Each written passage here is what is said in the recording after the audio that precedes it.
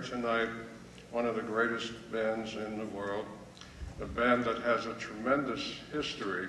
You'll see in, in small print on the music stands, it says, established by Thad Jones and Mel Lewis. I was very fortunate to have been at the very first rehearsal of what became the Thad Jones Mel Lewis Jazz Orchestra. And that goes back to December 1965. And about a little later than that, in early February of 1966, the band made its debut at the Village Vanguard. And it's still there every Monday night. It's a tremendous history. You can read all about it in the wonderful program that uh, Jon Poses put together. And incidentally, how about a hand for John? Yeah.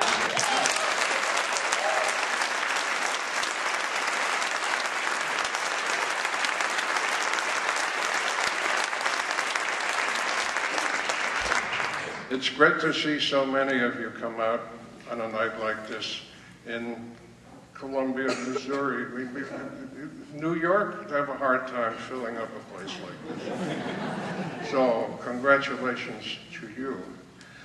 Uh, I won't talk for a long time because I know that you're anxious to hear some music, and you're going to hear some marvelous music tonight. They're going to start with something that takes us all the way back to the very beginning of this marvelous orchestra, a Thad Jones piece that really says a lot about that. It's called Mean What You Say.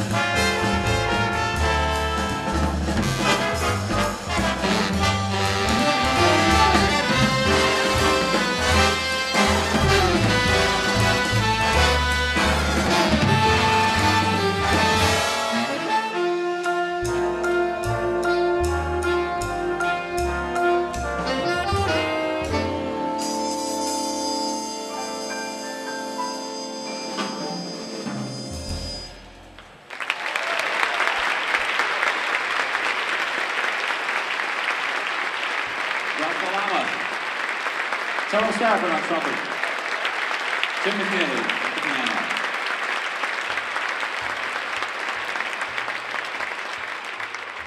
Thanks very much, and welcome to the Village Vanguard. That's what, that's what we try to do when we do uh, get out of New York occasionally, and uh, it's feeling pretty good already. That first one, of course, uh, Mean What You Say by our founder Thad Jones, and tonight we're uh, very excited to doing uh, new work by Bob Brookmeyer and also uh, just touching on some of the great uh, periods that Bob has had with this uh, organization. And we're going to go right now to something from our latest CD, the one that uh, Dan was talking about, and uh, this is one of Bob's great works on a classic composition. It's constructed to feature several of the guys in the band. Uh, it'll be Billy Drewes on alto saxophone, Scott Wendholt on trumpet, and Luis Bonilla on trombone. Assist from Jim McNeely. And so here's from Bob's first tenure with the band, uh, his uh, great idea on the St. Louis Blues.